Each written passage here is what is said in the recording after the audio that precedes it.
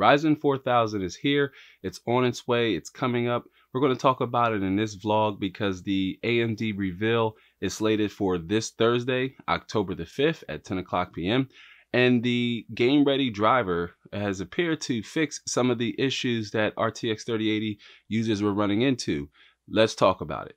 But if this is your first time to the channel and you want to learn more about building PCs and other gaming related stuff, click the subscribe button and notification bell so you don't miss a thing.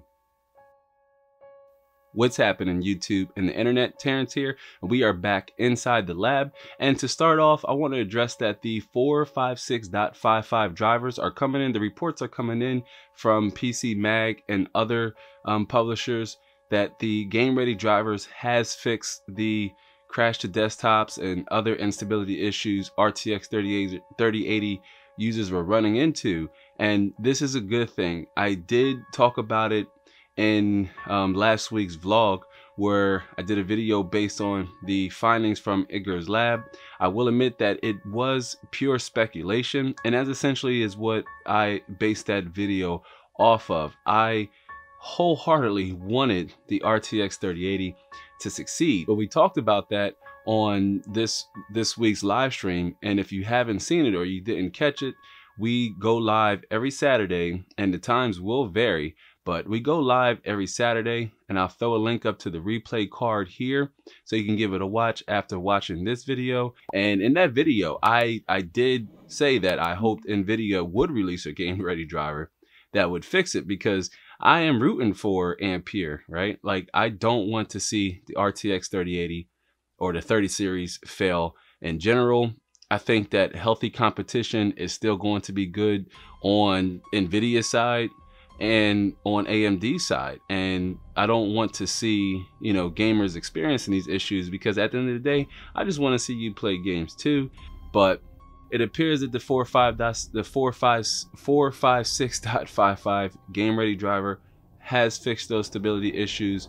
It's come at a um, it's come at a reduction of the maximum boost clock speeds by not it's not a lot especially from some of the reports that I've read, the it's somewhere about like a hundred a hundred megahertz that the boost clock speed has dropped by, but apparently there there seems to be no significant drop in performance, which is good. I mean, this is a really good thing. While it's still very much hard to find an RTX 3080, unless you're willing to pay more than MSRP, which I don't recommend. But if that's something you have the finances and the extra coin to do, and you really want the graphics card, you really want to upgrade, like now you waited, you waited and you waited, and say you're on maybe a 9 series card or a 10 series card or maybe even older i did say i, I would have wanted an rtx 3080 for for my personal use i am maybe holding out myself for an RTX 3070, which NVIDIA just recently announced in a blog post that they were pushing the launch of the RTX 3070 back to October 29th. That way that they can better accommodate gamers um, in terms of stock and availability. This is a good thing. The only thing I want to point out is that NVIDIA did this as a potential preemptive strike on AMD to steal their thunder because RDNA 2 is set to be announced on October 28th, a day before NVIDIA is going to make their RTX 3070s available. Um, I mean, this says that maybe NVIDIA is concerned about RDNA 2 or Big Navi. That remains to be seen. Either way, I think there's going to be um, I think there's going to be some extreme value in the RTX 3070, especially with some recent reports coming out that the RTX 3070 is indeed faster than the RTX 2080 Ti. So it remains to be seen what high-end Big Navi looks like and low-end Big Navi looks like. Just know that AMD is set to announce their Zen 3 microarchitecture micro architecture on the 7 nanometer plus node and they're toting better you know better instructions per cycle which is good because you know instructions per cycle on top of clock speeds and cores is which is what really makes a chip fast. One area amd has dedicated themselves to helping gamers save costs and that is the compatibility with the am4 socket and older chipsets like the x470 chipset and the b450 chipset. You will be able to drop a zen 3 cpu onto those motherboards um, so long as the, you've updated the microcode to support the Zen 3 microarchitecture. Um, 300 series users though will be left out. So X370 and B300, you know, B350 motherboard users, you you are most likely should be ready to upgrade your motherboard at this point. You can use say a Zen Plus or a Zen 2 CPU but if you want some of those new features and you know better memory support and PCIe 4.0, then chances are you may want to upgrade your motherboard now, especially with Asus recently announcing that they've completely refreshed their B450 motherboards for and they're calling it B452 but these B450 motherboards are going to come with better better memory support and they're also going to be able to support these Zen 3 CPUs on day one. They're being made specifically for them and those motherboards will be available later on at the end of October. And how much will these boards cost?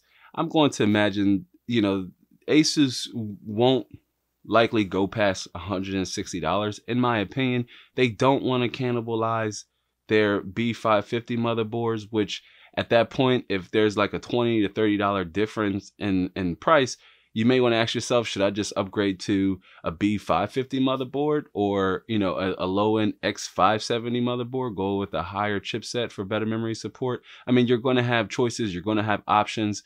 I know you I know you hear me talk about this on live streams and here in videos that it's one of the things I like the most about this hobby or, you know, just PC gaming in general. You have a wide range of options to choose from when it comes to wanting to build a system that's going to be able to, you know, handle all your needs in terms of gaming and productivity workloads. Because if you look at the pricing for Zen 2, which finally started putting AMD in like this position where they don't really want to be the value alternative anymore. They want to offer premium higher end chips. We saw that with the 3900X and the 3950X.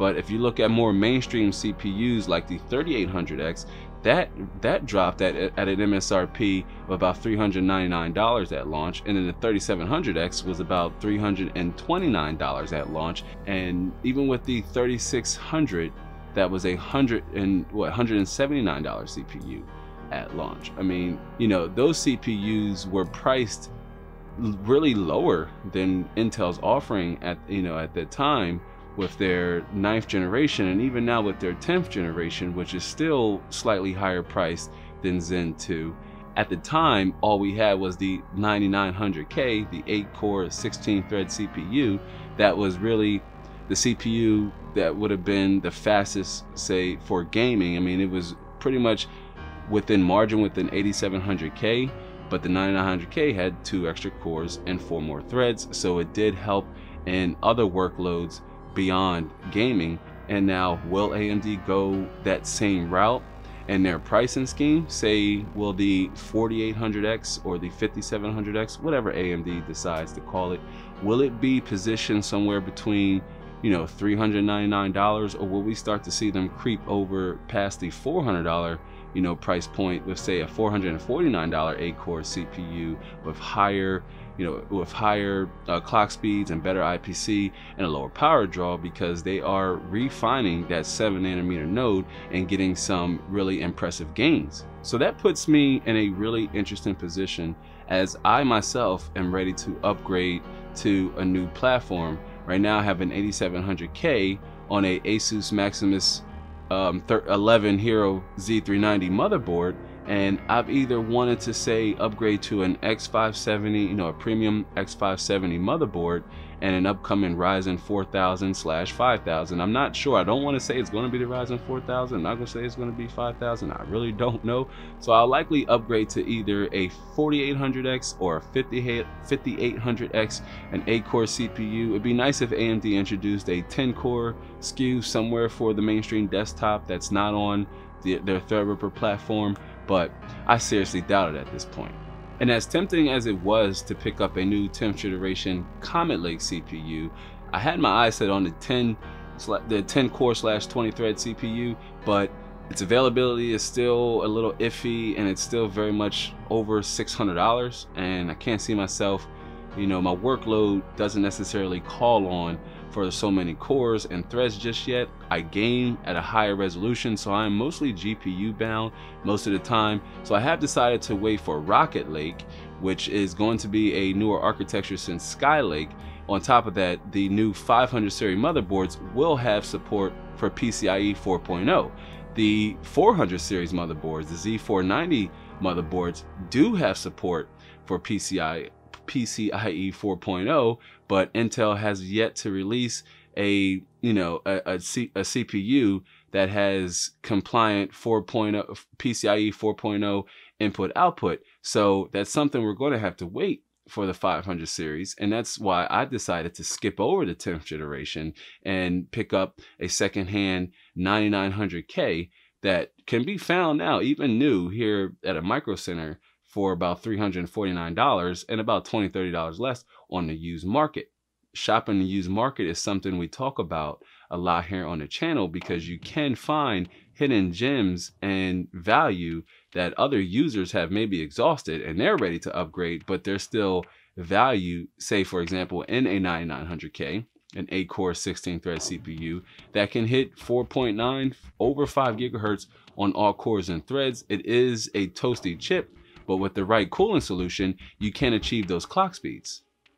But Rocket Lake won't be available till sometime later in 2021. And given the recent climate of the world, that's even subject to change. So I'll either again upgrade from an 8700K to a 9900K. And that way I won't need to buy a new motherboard because I have a Z390 motherboard, a premium high-end Z390 motherboard too.